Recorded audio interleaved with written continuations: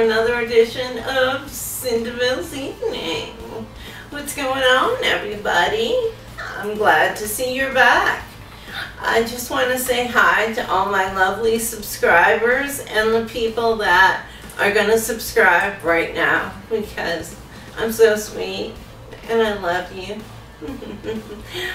okay, so as you know, if you watch my channel a lot, you've noticed that I've done quite a few piercing videos. In fact, I even put a 14 karat gold ring in my nose piercing, you know, just to change it up for a little while.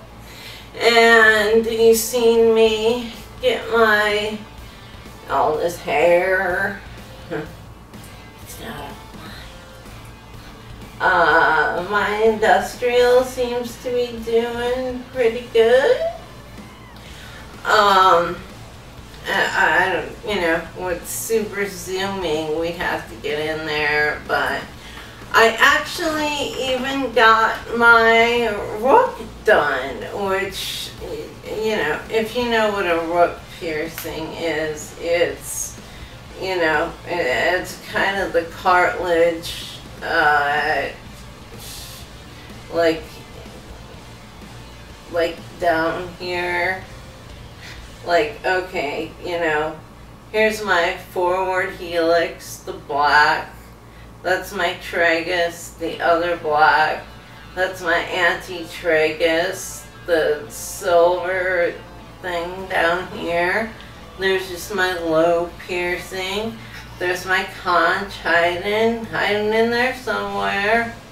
Long thing. I got a new one and it was the ball was just so ridiculously small and it was uh, T23 titanium internally threaded jewelry and it fit like perfectly like it would be snug not getting caught in anything but getting the ball on the other end was just not going to happen. So I've had no problems with my nose. I mean, obviously my industrial still healing. Uh, my forward helix is still healing and uh, my rook is still healing. But everything else, uh, you know, with that big heart in the way and the black one, I mean, it's a little silver one, you know.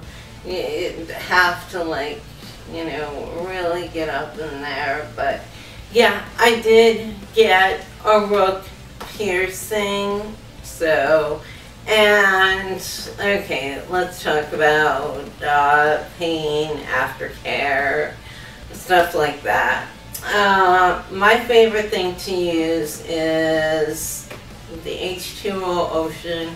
You're not touching anything, you're not disturbing it, you're just letting it rest.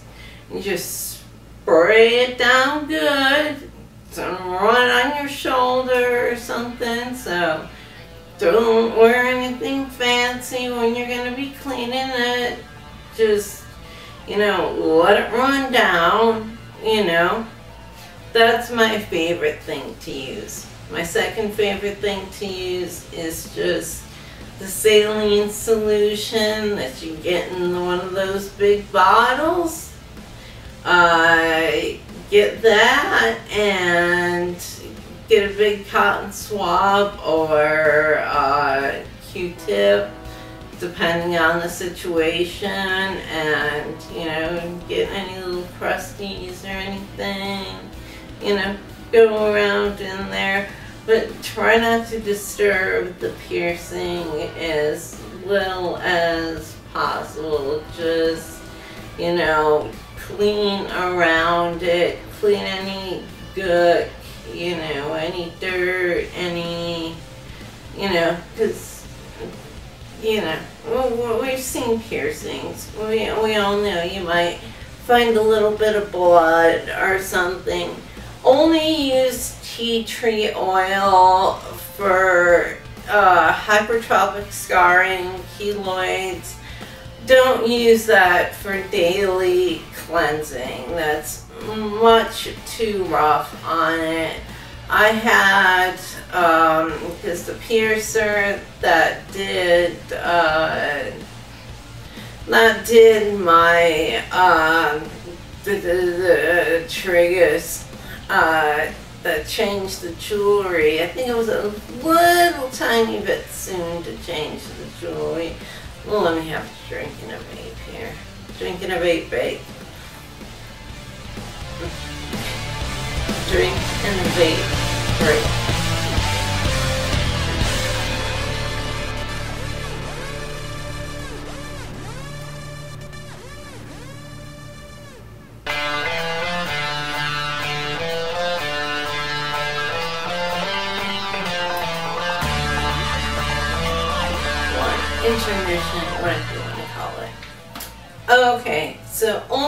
Use tea tree oil.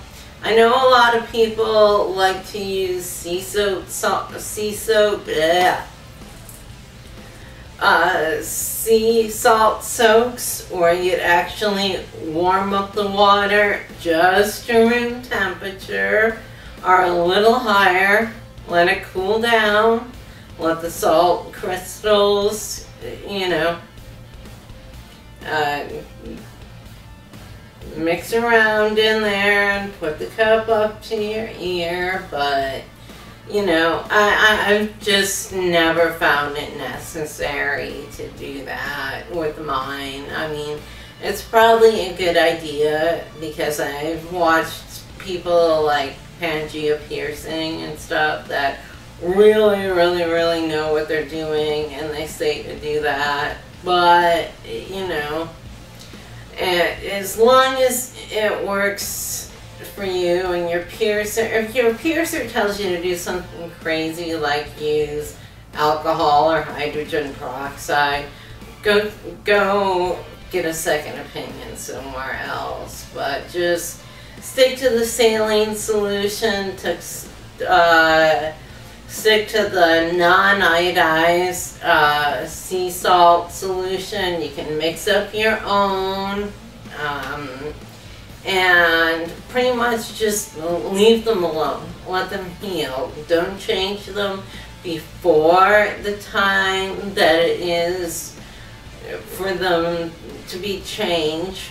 Let them just heal. Don't play with them. Don't twist them. Don't scratch them, just don't, don't touch them, especially with dirty hands. And when you are to clean your piercings, scrub up your hands with antibacterial soap and hand sanitizer. And then you know get a cotton ball or a cotton swab and do it. Or you know, do your sea salt soap, whatever you're going to do. But if you're going to use sea salt, make sure it's sea salt, the non-iodized sea salt, not table salt with iodine in it. That's the difference. So, you know, I hope that helps you with your piercing care. And just remember, you know, if something it's gonna look a little red. It's might have a little bleeding. You might have a little pus or something, but you know that's pretty much normal signs of something healing. If something's green or brown or uh, just does not look right, looks like it's rejecting or something, is really painful go back to your piercer and if, if they still say nothing's wrong, go to your doctor, go to a, an urgent care or something like that because yeah, that's, that's not too good. So I hope this helps you with your piercings and you know, if you want to give me a text or something down below, a message, say hi, tell me what kind of piercings you have, and tell me your stories about how they went. I'd love to hear it. And, um, well, I guess that's it for this time. Let me just get up, I guess, and uh, show you my outfit of the day. Okay, let's take a look at what I'm wearing today. I actually have a one-piece spider suit on under everything. I mean, I can't just wear that because this would be X-rated. So I have my brassiere on top and a skirt with little shorts that are attached on the bottom and a little jacket. I got my new spider choker on. And some spikes on my wrist. Oh, my black diamond. Um, Whee! And I have on a whole lot of hair. nice and fluffy, huh? so that's just it. I'm so happy that you joined me today and I hope you'll join me for further videos. I got a request to do a cooking video I got a request to do a nails video. I'm waiting for them to kind of get all one length, even if it's not too long, so they look right. And of course, shoes, shoes, shoes. Uh, yeah, I'm going to be doing in, uh, see which shoes I can walk in. Because I've got some, like, uh, you know, six inch heels without the platforms and yeah, I mean you've seen most of my shoes but we'll do a shoe extravaganza one of these days so okay. Lots of love and bloody kisses